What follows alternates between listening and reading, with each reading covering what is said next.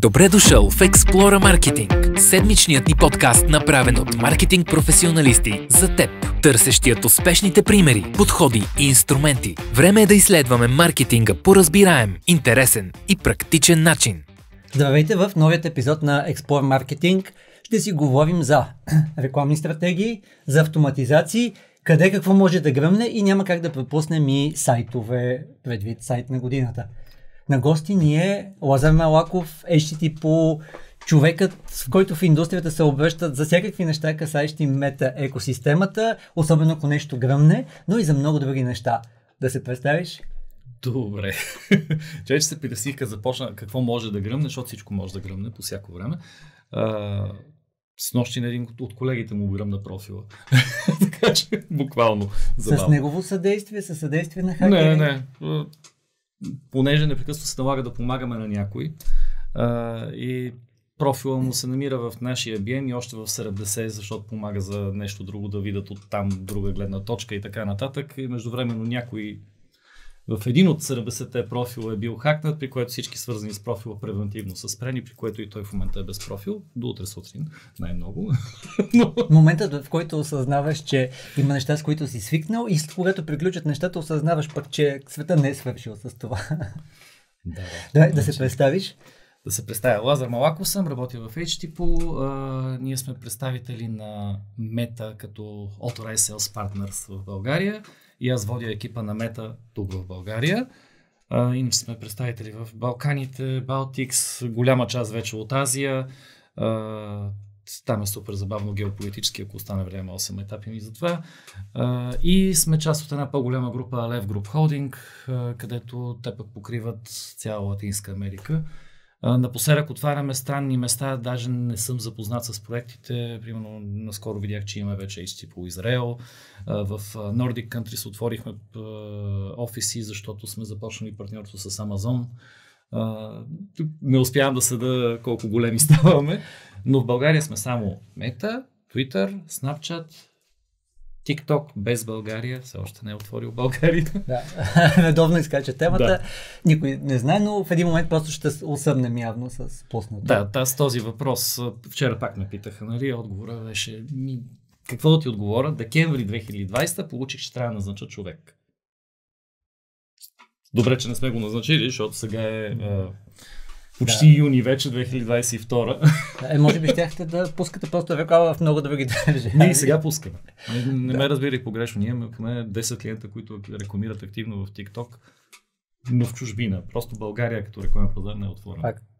Съгласен. А, ами, най-вероятно се сечем по някои от другите пазари. Ние също имаме клиенти Израел за примерно за тези над 24 пазара са станали. Наистина пазарите са различни, много е, много е интересно, много е специфично. А, добре, а, ти каза тази част, да кажем и, че сме в журито на сайт на годината, като, да. ти, а, като ти започна в предварителното интервю с много интересна история за това как по човешки начин си обяснил критериите на сайт на годината. Ние да. заедно сме ги създавали и един от критериите, да кажем заслуга на Лазар, той тогава го сложи, бяха пет основни критерии и един бонус критерий и се прилагат маркетинг автоматизации, когато е приложимо и съответно имаше, винаги гледаме да дадем в критериите и пример как, сайт, който е за отлична оценка, какво представлява да кажеш в тази част?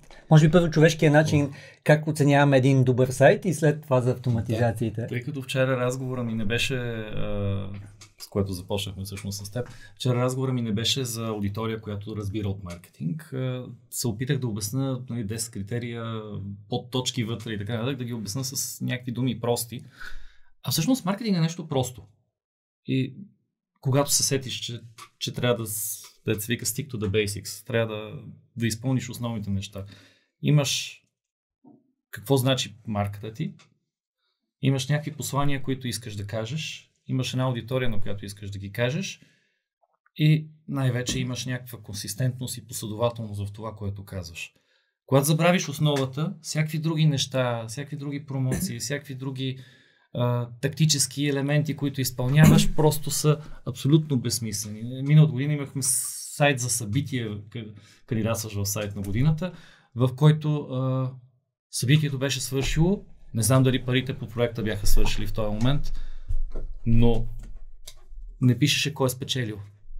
Последният пост в сайта беше утре е награждаването. Извинете, аз съм дошъл да видя какво става с, това, с това събитие. Дали? Това се е случило преди 3 месеца и вие кандидатствате с сайт, на който контента липсва. Uh, what да, да. Аз имам, аз имам друг такъв любим пример. Една от много големите FMCG компании ги консултирахме за потребителски пътеки. Дадоха ни достъп до uh, Google Analytics на един конкретен сайт. Много готина идея. Имат NCP, National Consumer Promotion, хората отиват и докато ходят да си въвеждат промокодовете, има секции, тя е по средата на сайта рецепти. Много яко измислено, всъщност как да се ползва продукта за рецепти. И аз съм го давал за пример на мои лекции в университетите. Следващите 6 месеца имаше 0 сесии посещения в секция рецепти, което означава, че да, хората най-вероятно знаят нашия бранд, най-вероятно има много ясна цел на този сайт, но ако сме решили, че една от целите ни е хората да се ангажират трайно с бранда ни и трайно да ползват нашите продукти, нали, това трябва по някакъв начин да се види. А, какво да направим с тебе? Да кажем супер накратко критериите, по които се минава, да е ясно за какво е сайта, не, в смисъл, в момента не е това темата, нали, но а, наистина основното нещо е трябва да стане ясно за какво е сайта, какво искаш да продадеш на този, който дошъл да го види. На кого? Идея, какво въобще се случва. На кого продаваш, в смисъл, ако събитието е за младежи, нали, окей, може да правиш а, съвсем друг начин на комуникация, но ако моите каки и батковци а, трябва да прочитат нещо, меню и цялата структура на сайта, която ти е само с иконки, които мигат от ляво от дясно, просто не помага на тия хора да свършат каквато и да работа на сайта ви. Правопис. Ето, това е един от вашите критерии, който ние гледаме, тъй като си говорихме с дизайн студиото, че те гледат примерно как изглежда и всичко останало, но правописта го оставят на нас, нали, да, да кажем, че са много зле. Визуал, визуалната идентичност, идентичност да и консистентност и в Идеята че визуалната част да си говори с текстовата и обратно. Да, ами... А... Добре, мисля, че е- бяхме сложили за а, всички условия за качествен трафик да са на лице. Тоест, нали, хората да могат да се самосегментират, да остават сигналите, с които можеш после да пуснеш маркетинг, може да дадеш сигнали на търсещите машини. Ух, почва, почва от време на време да, да ме боли, нали, защото а, пък а, тези сигнали, примерно в момента тая година спрямо миналата, ако си фармацевтичен сайт, тия сигнали не ти позволяват да ги събираш. Ако си финансов сайт, също може да се окаже, че е малко по-проблемно да ги събереш, защото малко се развиха законите за защита на личните данни и се, в момента често казвам, саморегулацията на големите медии работи значително по-добре, отколкото, защото хората казват, ама те ме слушат, ама те ме сегментират. Да, ама те ти казват само неща, които са позволени и не го ползват крайна сметка не го ползват по негативен за теб начин. Не позволяват някой да те таргетира на база на това от какво си болен, mm. например. Аз тук ще използвам да. Докато реферирам... половината реклами на фармацевти, фармацевтичния бранш, които са на телевизия, не можеш да ги пуснеш никога във Facebook или в Google. Просто да, директно едно от нещата, което на мен много ми харесва, че не можеш да правиш във Facebook е нали, с всичките минуси за цялата рекламна индустрия, че не можеш да показваш прекалено идеални неща. Нали, с болката ще са одобрили нещо или не, или преди и след което видимо е презасилване на нещо, но това е едно от хубавите неща. Другото, което а, използвам, че си тук и че сте представител на Мета. А, участвах наскоро в един подкаст Непремиримите с един психолог. Участвахме за пристрастяването към социалните мрежи и едно от ключовите неща, Младен тогава даде като съвет е да видим нашите деца на каква възраст излизат в момента, защото много от тях са си направили фалшиви рождени дати, за да излъжат алгоритъма, но това, което и ти загадна, всъщност има много добри контроли и настройки на алгоритмите включително, те са несъвършени, но са много добри в момента, в който се знае, че това е тинейджерка на дадена възраст и наистина алгоритъма му е казано внимавай за определени неща. Най-вероятно не е идеален, така че наистина... Тъжно е, че разчитаме си... на алгоритми и на големите компании те да ни пазят децата, но истината е, че те ги пазват по-добре, отколкото ние ги пазим. Ние не можем да бъдем 24 часа до тях. А, ако разчитаме на правителства и контрол, ужасът, който почва да ни се случва в дигиталния бизнес като регулация, честно казано е повече ужас, отколкото помощ. Mm. Само Калифорния акт, който е аналога на GDPR в Штатите, в момента се изроди в поне 6 различни щата с различни правила. Е, ти дори щатите са, не мога да ги разгледаш като глобален пазар. Камо ли пък да правиш нещо, което да е приложимо в цял свят. Нещата се изродиха. Да, да използваме, аз затова се отидох там да взема тази книга на 7 години, той това е казал. Равно погледнато, винаги трябва да знаеш за кого и за кого не е. И другото е, че всичките платформи, алгоритмите, ти спомена доста рекламни платформи, те ще дадат това, за което си платил. Нали? Тоест, равно погледнато, ако кажеш, искам хора да дойдат на сайта, ще дойдат на сайта. Ако искаш гледания, видеа, ще получиш гледания на видеа. Тук да ни кажеш, вече дойде до рек, да поговорим малко за рекламни кампании, за стратегии, т.е. какво работи и какво не работи, доколко да, да се осланяме на алгоритмите, колко трябва да ги захраним, за да свършат добра работа за нас. Значи, темата е твърде дълга, но истината е, че алгоритмите знаят много по-добре от нас, защото следят много повече неща, отколкото ние може да поседим в нормалните метрики, които следим. Миналата седмица имах една презентация, която беше на тема Lift и измерване на марките. И тя започва с... Общото започва с един виц, нали? защото корелацията между CTR, който хората гледат, а и хората ми кликат на рекламата, сигурно са ми запомнили марката, CTR и Brand Awareness корелация 1%. Значи, за който малко е учил статистика, над 60% е силно, над 90% е наистина значимо. 1% означава нямат нищо общо. Нали, нищо общо. нито CTR, нито engagement rate, нито каквото да било. тоест, много основно нещо е да да залагаш цел това, което не иска, наистина искаш да постигнеш. Точно това, което ти каза, това, за което плащаш. Защото ако искаш хората да ти запомнат клипа, ти даже тогава не гледаш, не, не таргетираш видеовюз, защото има хора, които гледат, обаче с, гледат с половин ухо. Mm-hmm. алгоритъмът може да разпознае до някаква степен кои хора след това на база на други проучвания, които е правил, след това ще им остане нещо в главата. И ти дава дори estimated mm-hmm. uh, brand uplift. Нали? Да, което, което е много логично. Аз имам а, няколко тук любими примера с, а, в тази част. Всъщност винаги трябва да работи за макроцелите. Тоест, макроцелта ми е engagement или loyalty или нещо друго и оттам правиш тези микро конверсии, микроцели, които са. Тоест, так, такава аудитория тя ще направи това, след това мога да и продължа пътеката, да се възползвам, че си тук и да реферираме за нещо, което е ключово според мен гледна точка на стратегиите, за трите състояния на потребителите. Аз го видях на една конференция на Facebook тогава, on the go, lean forward и lean backwards, което представиха мета. А, на това, което ние много използваме и много ни харесва, идеята, че ако имаш да кажеш нещо по-сложно, ти трябва да, да, ти в Lean Forward, където това са 2-3 до 5 минути, нали, човека се концентрира. Кажа това са по-малко. 5 съвети, 3 съвети. Ами, те да. тогава го казаха според мен минута и половина, ми се стори малко и затова малко го ами, увеличих. Тога, ако е 2-3 до 5, вече си в Leanback. Тогава си в момента, в който ти разглеждаш и четеш. Това, примерно това ти е в uh, Reels. Това колко е? От 2 минути и половина? То може да бъде и половин час. Въпросът е, че тогава вече ти наистина си в състояние, в което четеш, слушаш, mm-hmm. може да и слушаш един подкаст, например. И сега само да кажа това, което каза Лазар. Алгоритъма знае ли, че сте в това състояние?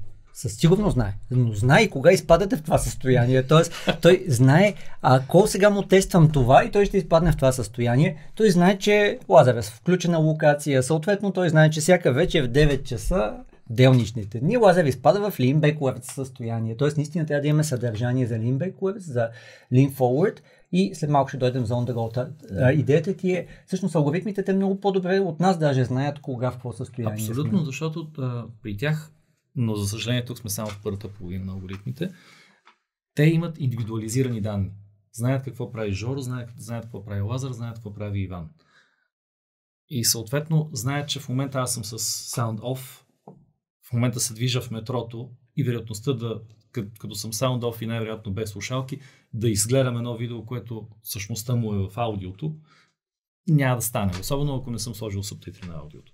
Нали, винаги слагайте субтитри. Ако не слагате, губите 80% Из, от трафика. Изгледайте, изгледайте един от първите епизоди на Explorer, uh, Explore Marketing подкаста, ние говорим за предположенията. Всъщност предположение е, че хората са само дон. Ако сте решили, че сте толкова добри в предположенията, нали, имате доста пари за харчене, давайте. 85% от случаите е с sound. Така че uh, да, накарайте ги да го включат, направете го много интересно, но служете субтитри, за да вграбите вниманието. Иначе просто няма смисъл това, което правите. Абсолютно. Добре, да, а, и сега да отидем на най-масовото състояние, защото тези, които обсъдихме след са 20%, поне статистиката, която казах, Lean Forward и Lean Backward са само 10%. Обаче 70% от времето хората са в on the go. Жуф, жуф. Okay. И тук това е най- най-странното нещо, което си on the go и когато говорим за време, което виждаш един пост в фида си, значи между другото статистиката не се е променила, все още говорят за 95-98 метра на ден, mm-hmm. които скролваме, което е височината на Ефелата кола. Много скрол. Средно виждаш един пост за секунда и две до две секунди. И това в много случаи е достатъчно, за да предизвика бранд awareness ефект. Това е впечатляващо.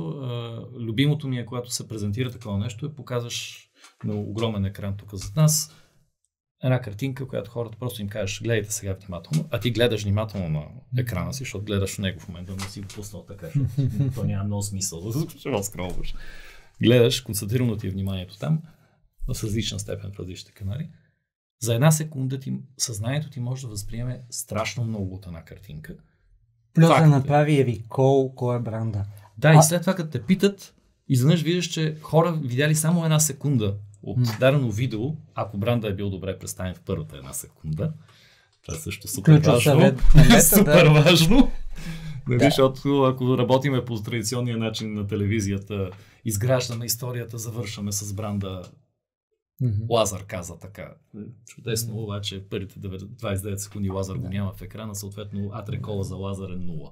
Да, просто не трябва да. Ако хората ви гледат по 30 секунди DVD-ата, супер, нали, браво. Тук искам още малко да кажа, аз помня този пример и аз си го бях скриншот, но той казаха 13 милисекунди са достатъчни да осмислим това. И аз наистина го правя това, което ти казал, като подменям всеки път Картинката. картинката, нали, пъвал съм с а, бира заглавка, пъвал съм с уиска, защото ми е любимо, защото хората разпознават бранда на секунда, да разпознават видеоупаковка и почти винаги разпознават дали е за малко коте или е за голяма котка. И това става в Ако е само с упаковка, времето, за което можеш да направиш. Тествай го с още по-голяма картинка с някаква реклама. Тоест да видите упаковката, ще видиш, че половината от залата ще е видява цвета на котето. Половината от залата ще е видяла а, носа му, о, какъв цвят са му били okay. мустаците, особено ако си направил едното зелено. Цялата тази информация за под една секунда влиза в съзнанието Възползвайте се от нея, слагайте марката си.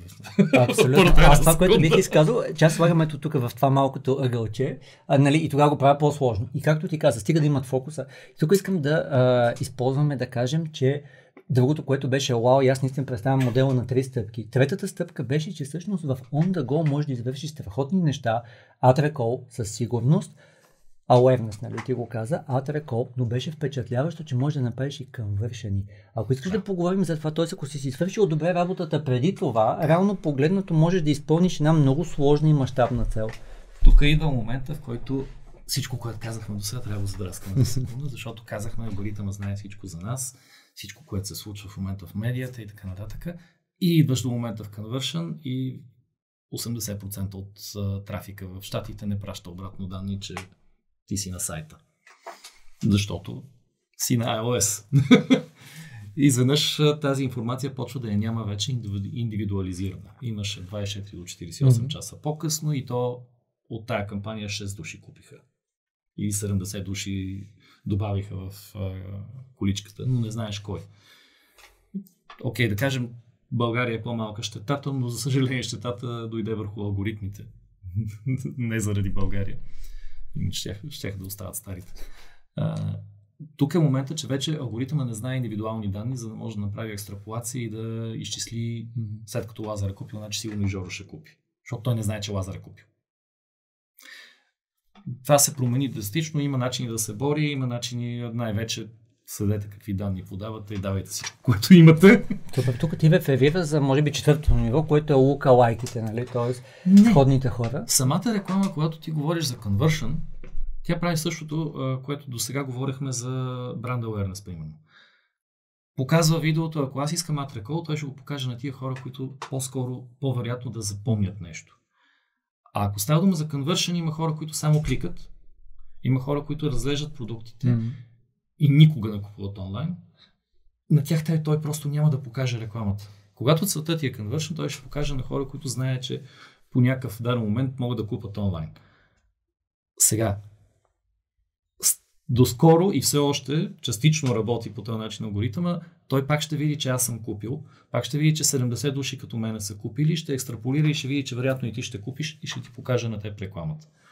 Просто вече част от тази информация не стига обратно до Фейсбук, защо или стига агрегирана, или стига не индивидуализирана, а, поради което няма как да, да работят толкова добре алгоритмите. Това беше всъщност проблема, който декември месец се случи с акциите и всичко останало. А, въпреки, че сега си гледах а, лекцията какво предстои през април, всеки в нашия бранш трябваше да го знае, че това ще се случи, така че не знам какво изненада борсата. Да. Точно преди една година за това да. говорихме, че това ще се случи. Да, те мисля, че всички много се вълнуваха от uh, monthly active users, growing numbers и така нататък, когато е публична компания. Така. Тук да използвам нещо, което също много обичам да дам за пример. Uh, и хората не го осъзнават колко добре е помислено в мета екосистемата и това е в Instagram отиди в био за линка. Всъщност, няма как да не запомниш, че си видял нещо. Я отишъл си в биото и си кликнал. И това, както ти каза, е вероятно един от много силните сигнали в тази екосистема. Значи, сигналите, по принцип, ние дори не можем да си представим а, колко сигнали се следват от а, алгоритмите, защото ти можеш дори офлайн да правиш проучване, да сложиш тия питата от телевизията и така нататък, всичко да, измери, да измериш. А, сигналите позволяват на машините да изградат алгоритъм, който а, примерно аз, ако отида на сайт, на който не съм бил и не съм рекаринг, не съм пазарувал отдавна никога там всъщност, аз винаги минавам през Terms and Conditions, да видя знае ли се кой, кой е собственика на сайта. Съществува ли тая компания. Ако няма Terms and Conditions, аз никога няма куп.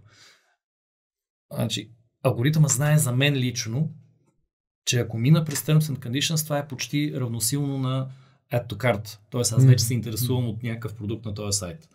А, колко от вас имат евент на сайта си, който следи, че това е някакво друго поведение и че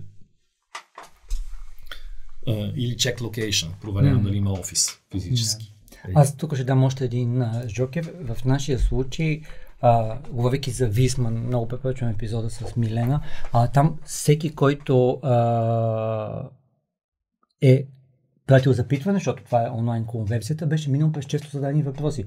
Е, очевидно, нали, ние имаме точно хора, които ни дават този сигнал, трябва да им удължим пътеката. Т.е. който е стигнал до някъде, дал е нужните сигнали, директно ние почваме да му показваме неща от често задаване. ЧЗВ директно го слагаш друг стандартен ефект, който в случая, ако, ако крайната конверсия пърча за кавички ти е бил пратил формата, слагаш съвсем друг евент преди това и после го ги вкараш в ретаргетинг. Това, и даваш по този начин, много важно, защото да, правете го като стандартен евент, защото стандартните евенти позволяват на алгоритъма да стъпва на милиони други сайтове mm-hmm. със същите стандартни ефекти, стандартни евенти и съответно да изградат алгоритъм много по-добре работещ за вас. На база на къстъм евенти трябва да изградат алгоритъм само за вас. Извиняйте, обаче обикновено вашия сайт е малък. Данните, точките, които ползват, трябва да са милиони, за да може да А и не се възползват от всичко, което дават алгоритмите в тази част. Отзад тук е и маркетинг 5.0, което е нали, два принципа на Филип Котлер.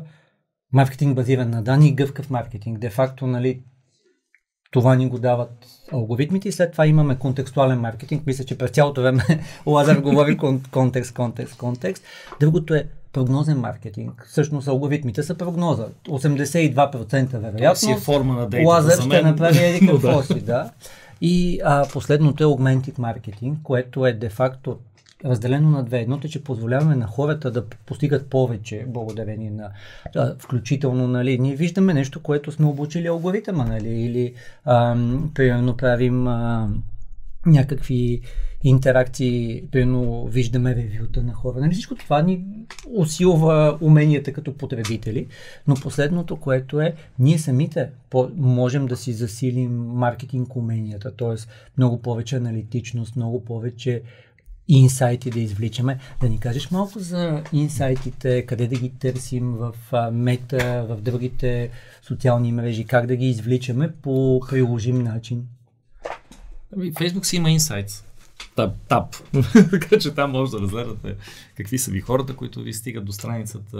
Може да стигнете дори до се вика, ако сте решили вече в бъдеще да излезете, да станете още по-големи, да излезете и на телевизия, може да си видите наистина демографския профил, защото за съжаление в телевизията може да таргетирате почти само по това или поне да купувате само по това. Ние така за Toyota тествахме и валидирахме аудитория, т.е. те, те идват с глобалната аудитория. Съответно, ние имаме преди това валидирано в мета екосистемата, колко е дълга пътеката, какви потребители.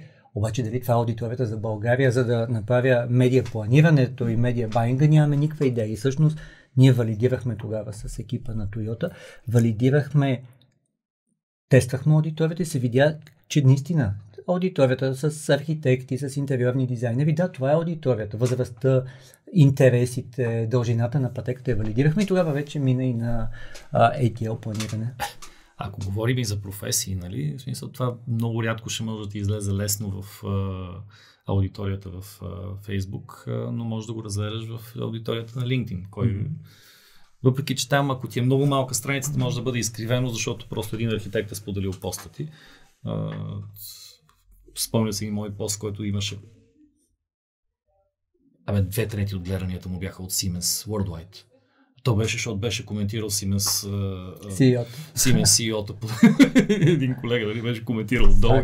Окей, това изведнъж беше буснало в някаква странна посока. Да. А тук аз да кажа, да се възползваме направо, защото има сила на сигналите. Нали, най-вероятно едното имаме, а, да кажем, някакви интереси, които са като поне за мен мога да кажа, че две трети са верни и една трета са някога сме работили с алкохолен бранд и аз продължавам да имам интерес към алкохоли, нали, и то сериозен, нали, излизам и за таргетиране. Аз не пия твърди алкохоли, да, да. поне 10 години вече, но това, след това, разбира се, идва а, идват някакви сигнали, които са и а, аз на това му казвам поведение, нали? Тоест ние винаги се опитваме, нали, търсим най-добрите аудитории, но след това най-добрият критерий, разбира се, поведение на потребителите. Тук, за да хората да запомнят, защото Лазер ще ви каже на то, вече на реално как работят отвътре нещата, но един от най-забавните примери за един бранд, за който работихме, най-добре работещата първоначална аудитория, преди да имаме поведение на потребителите, които купуват съответния продукт,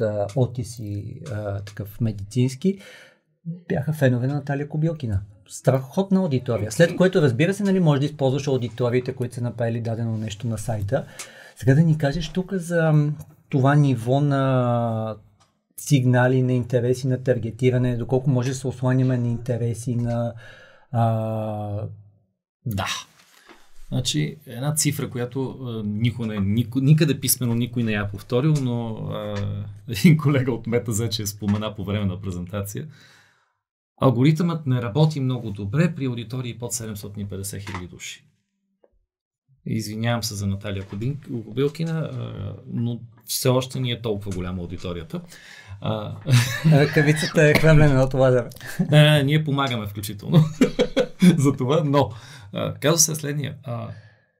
В повечето случаи, особено ако тръгваш наистина от нулата, най-добрата аудитория е О. О. Всички. Нали, окей, 18 плюс, ако продаваш неща, които са образование за секс, например, но а, като цяло all ти позволява много бързо след това да видиш кой енгейджва, какво се случва, алгоритъма да намери коя ти е аудиторията и след това да разбереш сам за себе си на база на твоите послания този креатив и това, което в момента правиш, коя всъщност ти е по-точната mm-hmm. аудитория и след това да коригираш. Но трябва да си сигурен, че доколкото помня поне на, от ваша презентация, че трябва да имаш поне 50 много смислени интеракции, които показват, нали, позволяват на алгоритъма да. да види, че ето това са хората. Термин е конверсии и то са конверсии, по които оптимизираш. Тоест, ако искаш видео views, ти пускаш 50 видео views, имаш веднага, нали? Алгоритъма почва да се учи на секундата. Е, буквално след петата минута вече си излязъл от така наречената learning фаза. Много важно да излезете максимално бързо от learning фазата. А, просто алгоритъма работи след това 30-40% по-добре, отколкото по време на learning фазата. Така че, но ако искаш продажби и продаваш автомобили, ако решиш, че трябва да продадеш 50 автомобила и едва след това ще оптимизираш, това е много добре и всъщност би бил позлатен от клиента си, ако успееш да го постигнеш за първата седмица, защото ти трябва 50 конверсии седмично. 50 автомобила седмично. Да, да кажем тест драйва 50. Заявени тест драйвове, да. Сега, Или конфигурирани автомобили, може би, ако не също, можеш да стигнеш стигат до там. Друг е въпросът от там нататък коя аудитория, как работи.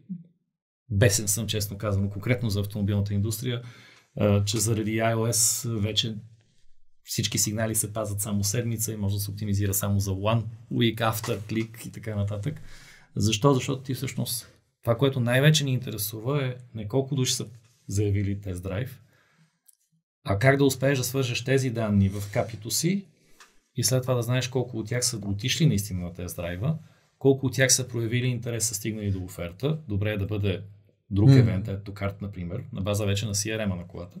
И след това колко са купили. Защо? Защото имаме кампании, в които от една кампания имаш 500 лида, друга кампания имаш 40, от 40-те се продават 20 коли, от 500-те се продават също 20 коли. Значи ти ако си търговец на автомобили, твоя персонал е станал от Суния 500. Направил е, всеки търговец е направил 40 тест драйва, обяснявал е всичко и е продал от 41. В другия случай е имало 40 и е продадени 20. Това в момента не може да се постигне изцяло като алгоритъм, просто защото 28 дена въобще не съществуват. Но пък Нали, предполагам, че им помагате в това отношение. Вашата роля е тук, нашата е в рекламата. Mm-hmm. А, трябва да им конфигурирате правилно всички тия стъпки и евенти да стигнат обратно после до платформата, макар и са закъстени. Абсолютно. А, тук мога да ви на когото му е интересно, можете да видите концепцията на Google за микромоментите. Тя, примерно, за автомобилната индустрия е страхотно развита и аз съм сигурен, че в мета екосистемата всичките тези на каква фаза е потребителя. Т.е. дали е, коя е най- бързата кола, най-ефтината кола за поддръжка и така нататък. Нали, кога е в коя е за мен, кога е в а, а, мога ли да си позволя. Всичките тези неща всъщност алгоритмите много добре са научили. Добре, сега може би да кажеш какво не могат сами алгоритмите, като нали, най-лесният за разбиране пример, който аз давам на хората е, че алгоритъма няма как да знае, че на вас ви трябва тракшен от 50 продажби, за да валидирате, че има търсене за това нещо. Нали, той не знае, вие на бизнес ниво, че ви трябва да валидирате, че това има кой да плати за него. Нали, той няма как да знае вие какво си мислите. Другото, което, съм, което нали, знам е, че примерно алгоритъма не знае, че на вас ви трябват а, ревюта от клиенти. Т.е. Нали, той няма да ви каже, бъдете така добри да направите кампания за ревюта на клиенти, защото хората ще потърсят дали имате ревюта. Да ни кажеш, кое не може само алгоритъма да разбере и ние Алгоритъма не може да, да водим. ти подреди стратегията. Всъщност не може да ти отговори на това какво искаш. Алгоритъм може да се справи, когато му поставиш задача, и, например, му кажеш, искам ревюта или искам хора, които да отидат еди си, 50, знае, че търсиш 50, защото той търси 50. Ти даже не търсиш 50, ти търсиш 700, за да знаеш mm. uh, колкото, за да може после да тестваш логистичната база, да видиш дали uh, ще имаш много връщания от този пазар или дали да продължиш да продаваш във Франция. Или да кажеш, гледай си работата, аз там няма занимавам, защото ми излиза скъпо. Uh, но алгоритъма може да знае само това, което ти му подадеш. Каква ти е стратегията? Какво ти е позиционирането? Какво послание искаш да имаш?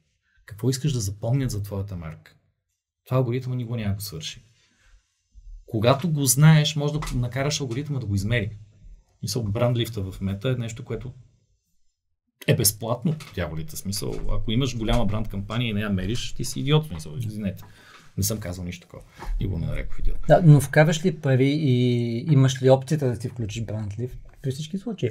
Включително това е, ти се обучава за следващия път, т.е. Нали, следващия път знаеш, когато еди какво си се случи, еди какво си. Дали са запомнили? А, и другото, което алгоритъма не може да ти каже, той може да ти покаже много бързо, почти незабавно, кой от креативите ти работи по-добре за зададената цел. Не може да ти направи креатив. Не може той да ти измисли факт, опитват се в интерес на истината, но добрия креатив не може да бъде заменен в момента от машина. А, добрия креатив, кое да тестваш? Тази концепция спрямо тази концепция, спрямо тази концепция, това не може да ти го реши алгоритъма. Трябва да го тестваш, да го Има тестваш глезотийки, условия. като да ти пренаведи карусела, нали, за плочките и така нататък. Това е глезотийка, но на по-мастър нивото, както ти каза. Ами, дали ще говориш, примерно имаме клиент, който сега правеше тестове с а, продуктите са за родители на много малки деца. Те, които още трудно спят нали, до две годинки. И там имаш опцията за съня им, щастливи родители, имаш ревящо бебе, имаш щастлива майка, имаш едикви си колички, имаш различни концепции, които трябва да тестваш. И едва след това, когато видиш коя концепция повече работи, вече да тестваш различни креативи и решения с тая снимка, с оная снимка на този пазар, на онзи. Тъй като Много, съм, много са различни пазарите. различните Ние, пазари един, реагират различно. един от нашите клиенти, ако искате на сайта, може да отидете да видите кейс стадито. България е едно, Гърция е тотално различно. Е, там разговор е друг, интересите са различни. Особено ако си таргетирал по лукалайк на кобилки на, аудиторията. Не, не, етапа не. са, но а, между другото Гърция и Португалия, това е ми любим пример. Тия две държави, по съвсем други причини, между другото, едните са крайно католическа, другата са крайно ортодокс. На ниво сапорт и на ниво реакция на потребителите са най-нетърпимите пазари в Европа от гледна точка на голота, например. Okay. Значи, една кампания тръгва еднакво в България, Франция, Чехия, навсякъде. В, Чехи, в а, Гърция спира, защото този крак а, много хора са репортвали, че не може да се показва Окей. така. Буквално. Не, не, това пак говорим за, бебе, за бебешки продукти в, в този случай. А, аз тук имам, понеже казах голота, не мога да не дам този любим пример. В момента, в който алгоритмите не бяха толкова добри, а, част от фирмите, които се опитваха да предлагат изкуствен интелект, нали, а не докато се обучи този на големите платформи, а, имаше една Albert AI, помня, беше много интересен пример, и един италиански бранд за дамско бельо. И съответно бяха споделили хората, кейстърите бяха направили за файнингите, Ко- Коза Бела се казва, ако ви е интересно, и бяха споделили файнингите, които е направил алгоритъма. Първи файндинг. Креативите се изчерпват. Стига, бе, сериозно. Следващо нещо, че а, хората взаимодействат повече с снимки, на които имат женско тяло. Сериозно? И това ли нали, трябваше нали, някакъв алгоритъм да ви доубеди. Но това, което беше много смешно, всъщност те казаха, че реално погледно се е наложило да, а, и третото да не забравя, че хората са 24-7, нали? Тоест, не сега имам сапорт и той прави и след това, че хората имат по-дълга пътека, нали? Някои хора вечерта ще разтъкат нещо, на другия ден ще се присетат. Но това, което беше много интересно, че те бяха променили екипите си, т.е. реално погледнато бяха пренасочили фокуса да правят колкото може повече визии, креативи, защото явно преди тотално са ги подценявали, което нали, това е нещо, което можеш да кажеш. е Защото също нали, то, визиите се изчерпват, нали, на- откриват се нови аудитории. Но най-смешното ми беше, че точно след 3 месеца бяха върнали обратно микса, където не е, не е 90% тяло женско облечено в бельото. Всъщност имаш и продукти, имаш и много други неща. Тук да, тук да Значи- разкажем, че всичко е психология. Вместо да преразказвам каквото ти каза, а, директно а, какво може да ти направи машината, Давай. всъщност. А, това, което препоръчваме в рамките на една кампания, винаги да имаш няколко различни креатива на ниво креатив. Тоест имаш едно с тяло, едно с продукт, едно с а, емоция, по друг начин показана, примерно с лице. Говорим за, същата, за същия продукт, който може да бъде примерно дамски бижута или нещо от това. След това да имаш различните формати. Тоест, в рамките на същата кампания, Мгм. същия креатив да ти бъде форматиран за lean back moments и съответно да, да го имаш в формата, който да покаже в квадрат или съответно в 9 на 16 и така нататък. Да имаш различен ад формат тип карусел и видео и тогава да пуснеш кампанията. Защо? Защото точно това, което са върнали като микс, това работи най-добре общо. Но за едни 15% от аудиторията тялото няма да работи най-добре. И алгоритъмът това го знаеш, ще им покаже продукт. Mm-hmm. За ни други 2% от аудиторията само емоцията ще, ще бъде още по-силна. Или в даден момент в, на, на часа за същите хора, които тялото ще бъде основно работещо, за тях само емоцията, примерно вечер, ще бъде по, по-силния момент. И ако не му дадеш на алгоритъма да избере подходящия момент, да покаже различния креатив в този момент, за да конвертира, всъщност ти се ограничаваш. Този продава най-добре, когато е сам, трите заедно продават най-добре, защото другите два намират хора, които иначе с, първия, с първия начин, с първия Абсолютно. подход няма да им продадеш. Точка. И всичкото това И всичко е инкрементал И от другите. това е персонализирана психология. Аз това исках да кажа. Реално погледнато, нали, скандал, за, който беше за Кембридж аналитика, нали, той стъпва върху психографски модел, Ocean модел, съответно, нали, всичките ние имаме едни неща, които ни отблъскват, други, които ни привличат. Имаме а, воля, която си на края на деня си измаря или обратното с тези, които ви е интересно, всъщност имате момент, в който сте много фокусирани и правите рационални задачи, такива, в които сте по-креативни, повече браузвате. И всъщност алгоритмите много добре знаят вече вие в кога в какво състояние сте, т.е. кога по-скоро бихте ландървали, просто браузвате и кога сте готови да действате. Факт. И казуса, който беше с Cambridge Analytica е, че бяха дали raw data на някой външен, който вече може да ги ползва по друг начин. Не Абсолютно. по начина по който. Мисъл, мета, мога се закълна в това по начина по който ги знам как работят и а, как не ни дават дори да говориме. Пряко с екипа, който отговаря за integrity. Ние имаме цел задачи, значи хората, които в нашия екип отговарят за integrity, те говорят с бизнес integrity, те говорят с бизнес integrity екипа. Тези хора никога няма да направят модел, който се базира на страховете ти. Това, което беше направил екипа на Тръмп. Абсолютно. Те имаха, доколкото аз знам, на втория дебат Тръмп срещу Клинтон, пишеше, че са имали 170 хиляди различни креатива, които са сервирани и се почва, нали? Човек, който е, който е много социален, човек, който е афроамериканец, човек, който еди какво си, просто за да за могат нищо, да ги което вече е social ads, както между другото и за financial, и както и за, за jobs, не можеш да ползваш толкова детайлно профилиране, включително не можеш да ползваш етнисити въобще. А, за добро се случи целият Да. скандал, защото в наши дни включително не можеш да избереш разстояние за social ads по-малко от 15 км от дадена точка, за не може да изключиш искам да предлагам кредити, ама само без Харлем. Мгм. Навсякъде, ама без този квартал, Мгм. защото тук тези хора трудно го връщат. Нали? Не, ще ги, си ги оцениш нормално. Не можеш предварително да налагаш своите условия за сегрега- сегрегация, расизъм или каквото и да било друго. Или потенциалните им страхове да ги наслагваш в такъв тип отношения.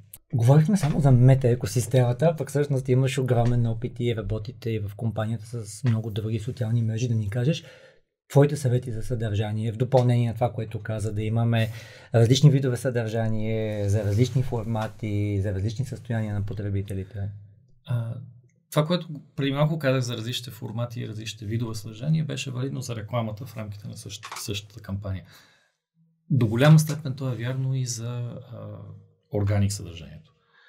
А, първо не очаквайте да не си поддържате органик съдържанието на страницата и след това рекламата ви да работи добре.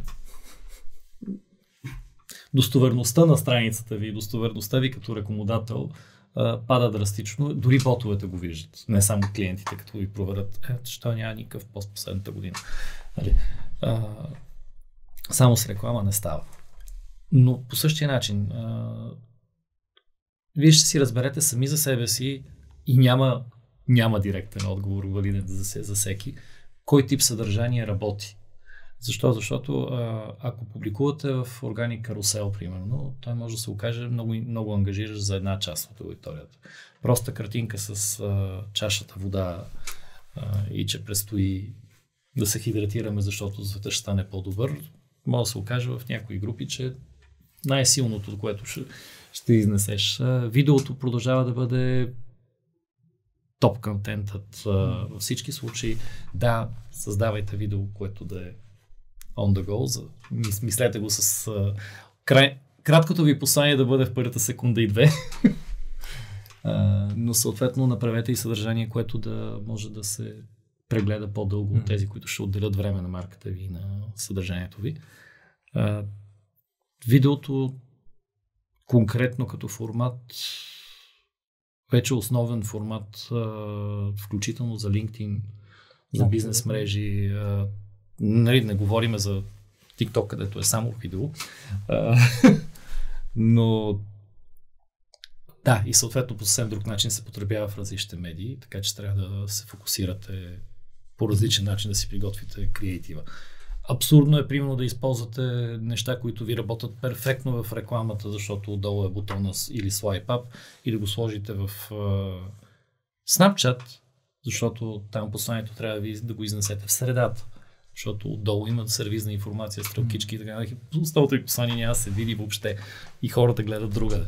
Uh, така че uh, следете трендовете, вижте в коя медия, коя аудитория, как реагира и се постарайте за всичките ви фенове, всичките ви, цялата ви аудитория да имате различно съдържание.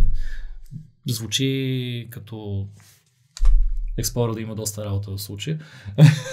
И съответно на вас да ви трябва много бюджет а, или истината, че не ви трябва толкова много бюджет, просто ви трябва по различен начин да поднесете същото съдържание, в което имате да кажете и същото си послание, но трябва да се съобразите с аудиторията и начина по който ви потребява. Аз би върнал към това, с което започнахте. Започнахме с тебе, т.е. винаги имаш е, някаква цел, нали? след това имаш аудитории, след това имаш цели за тези аудитории, след това имаш вече пътека, която създаваш. По тази пътека се появява съдържание. Т.е. ако знаеш, Точно, че пътеката е достатъчно дълга или че имаш някаква специфична аудитория, ти решаваш дали да работиш за нея. Тоест, със сигурност можеш да опитваш само с едно нещо, със сигурност можеш да опитваш да скъсиш пътеката, но ако данните показват, че скъсяването не е добра идея или пък никога не си тествал да удължиш пътеката, пропускаш. Да, довършваш си органик си, довършваш календара, създаваш си различното съдържание за различните елементи, за различната аудитория в различна, различно топла спрямо фунията да, винаги ще има. Тук любимо ми е простия принцип на бизнес съдържанието за LinkedIn, които казват правилото 3 към 2 към 1. Mm-hmm. Първо, и там твърдат, че трябва всеки ден да публикуваш, което за B2B компаниите обикновено е някакъв ужас. Но три от постовете ти трябва да касаят въобще индустрията, в която си в B2B среда. Това е валидно, абсолютно валидно и ако имате фейсбук страница, която говори за а, вашия B2B бранд. Три от постовете ви, т.е. три от дните от 6, приемайки, че в неделя почиват всички, а, трябва да говорите за индустрията, за неща, които са общо валидни, общо значими, нещо, което се случва около вас. Два могат да бъдат за неща, които вие сте разработили като компанията, като тимбилдинг, ако щеш, като а, нов тренд в AI, който, над който работите и къде, къде сте стигнали. Само един може да бъде продукт цена и промоция. Е, това е за органик, нали? Е, Една 6, като, т.е. около 16% без не трябва да, да и ако тръгнете, а, обикновено маркетинг отдела получава само бриф, който касае рекламата и промоцията. Ми, не, това няма да работи. А, така че всякакъв разнообразен контент, следете си аудиторията, вижте на какво реагира, в колко часа да го публикувате, отговорът ще бъде различен за различната медия и за различния ви бизнес и за тази ви аудитория.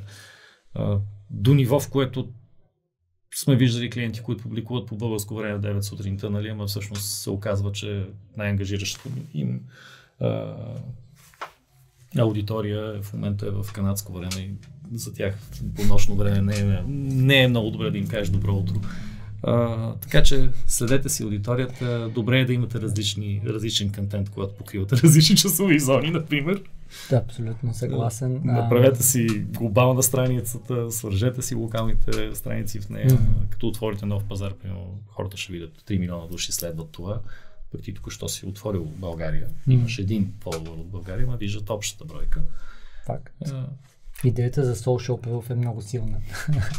а, аз тук мога да потвърдя, ние правим над 30 фотосесии за клиенти. Това, което ти каза, нали? Тоест да имаме съдържание, което е много видимо създадено от банда, видимо нали, хората знаят, че могат да намерят интересно съдържание, полезно съдържание.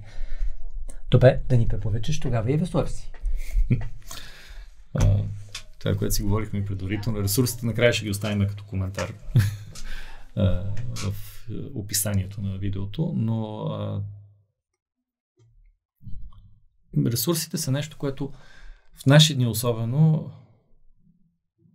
от една страна, може би веднъж на 3 месечи трябва да се върнете към Basics. Тоест някоя нова книга за маркетинг, нещо ново, което излиза като окей, okay, Маркетинг 5.0. Значи всичките маркетинг 3.0, 4.0 и 5.0, Лазар има много интересна трактовка а, по темата. Мисля, че се убедихме да, с теб, че всъщност... Това ще го споделя публично. Значи, обичам Котвар. Учил съм по него. Значи, Котвар е а, библията за маркетолога. Нали? Който не е чел основите на маркетинга и основите на маркетинг менеджмента на Котвар, значи не е учил маркетинг. Но, когато заговори за 3.0 и каза бъдещето е social, като заговори за 4.0 и сега като говори за augmented reality и за augmented marketing, обикновено най-новата му книга, последната му стъпка е малко твърде изпреварила а, поколението и реалния маркетинг и свят и ще видите, че в 4.0 това, което е било 3 го няма, в 5.0 това, което е било 4 го няма. Всъщност, обикновено не успява с uh, predictions, които mm. задава с най-новия тренд. Но като цяло това не пречи. Значи, за мен поне веднъж на 3 месеца трябва да прочетеш някаква теория, която е обща.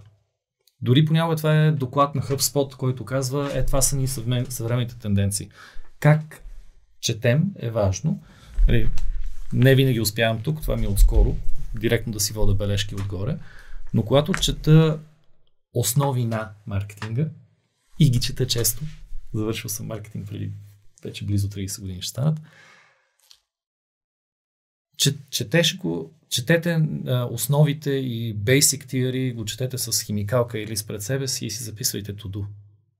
Когато се върнеш в А и Б, позиционирането, какво значи марката ми, какво искам да кажа, ще видите, че има много неща, които могат да се променят тук и сега в промоцията, която правите, в комуникацията с екипа, която имате. В... И тук имам трима нови, които не съм обучил на Ери какво си, трябва да, да им планирам обучението. Мислете с тудута, когато четете основите. Така че всяка книга, която нова излезе, не, не твърда обаче, трябва да четете всичко и не, на всяка цена и много, защото останалото съдържание, което се бълва и което се появява всеки ден, е много по-важно, защото то е валидно тук и сега пък в сферата, в която сте. Конкретно за social advertising, абонирайте се задължително за нюзлетерите на, на Мета. Ще, ще пратим къде и какво има. Mm-hmm. В ресурси може, както на всички Абонирайте за нашия нюзлетър. понякога общо валидни неща ги пускаме и не до клиенти. Иначе клиентите ни получават детайлно препоръки какво да следят, включително семинарите. Следете семинарите, които те правят и които и ние правим включително и се записвайте. Говориме за 45 минути как да върнеш фидбек. Mm-hmm. Това са сесии, които обаче пък мета прави, обаче ги прави за, окей, много затворена група, тя не, не е добър примера, там няма да мога да ви вкарам, но а, тенденции а, в а, настройките на капи и как да си поправим, как да работим с алгоритмите, когато става дума за конкретен бранш, примерно в ауто. Дори такива много специфични обучения се появяват и те ги водят. Те водят, може би, 400-500 обучения месечно в различни часови зони, различни трейнери по различни програми. Така че, ако си изберете 4-5 такива за месеца, горе-долу ще достигнете до нивото на моя екип, които са над половин ден, бих казал по-скоро един ден в седмицата от 5 работни дена, или са в обучение, или те водят обучение. Така че а, няма как да кажа един основен ресурс, по-скоро какво ново се появява. Нали, следете HubSpot, техните доклади, ако не ги четете, значи пропускате медиите, в които в момента не сте активни. А, Следете новите курсове, които се появяват в LinkedIn Learning, понякога даже са фри, които са на абсолютно супер нови теми. как да ангажираш публиката, когато си в коя си индустрия. Тоест, дигиталното съдържание в наши дни до голяма степен измести книгите в това отношение. Книгите са веднъж на 3 месеца. Основите, това е моята препоръка.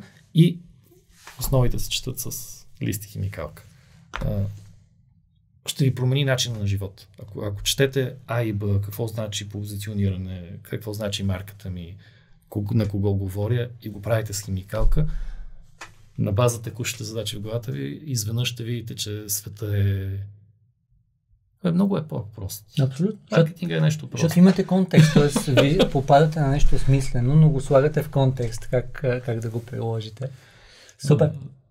Много яко. Ако сме пропуснали някакъв ресурс, кажи, иначе хората ще ги намерят в анотацията. Едно от нещата, които може би все пак ще добавя, четете също така не само чисто маркетинг нещата, четете трендовете, които касаят и менеджмента, ако щете project management, нещата новите, които излизат в сферата, защото отново четейки А и Б, виждаме примерно миналата седмица имаше обучение на тема giving feedback. Нали, четвърта стъпка не винаги я правим. В смисъл, ако гледаш коин моделта. Тоест, поставяш контекст, какво се е случило, как ти си се почувствал, което между другото няма да се връщам в тезата. И след това какво искаш да се коригира и забравяш байн. Да го накараш той да го каже, че той ще го направи, mm-hmm. че той какво ще поеме като ангажимент. Понякога, чисто като менеджер, не ти остава време за цялото нещо. Така че следете основите, връщайте се към основите. Истината е, че основите на project management, основите на маркетинга са нещото, което ако се връщаме достатъчно често към него, ни прави успешни в днешната супер динамична среда. Аз много, много препоръчвам Manager Tools, уникално добър ресурс, с страшно много безплатни ресурси, включително и за фидбек, за работа с екипи. Добре, какво да запомнят хората от теб? Някой цитат, нещо, което да им остане? Аз си харесах Back to Basics със сигурност. да. А, маркетинг е нещо просто. Основите на маркетинга определят битието ни и успеха ни. Стига да използваме най- най-новите инструменти, които имаме, да се адаптираме към средата и аудиторията, която таргетираме в различните медии и да го правим бързо. И да тестваме достатъчно. Защото в контекста на целия разговор, нали, алгоритмите ще направят решението бързо вместо нас, ако ги захраним правилно. Абсолютно има неща, които само хората могат да правят. Стратегията зависи от вас. И не за, за другите неща е по-добре за някой да ни помогне. Супер. Много ти благодаря още веднъж. За тези от вас, които са си харесали ресурсите, в анотацията на епизода. За останалите не забравяйте да взаимодействате с съдържанието, което е свързано с този подкаст, за да обучите алгоритмите. Благодаря за вниманието.